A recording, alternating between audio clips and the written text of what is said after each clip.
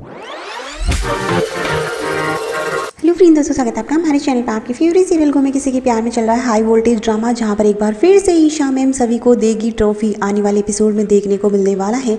ईशान और यहाँ पर अनवी दोनों ही यहाँ पर जो है दूरवा को समझाने की कोशिश करते हैं, लेकिन वो बुरी तरह से बोखला चुकी है और सभी से बदला लेने की ठान चुकी है।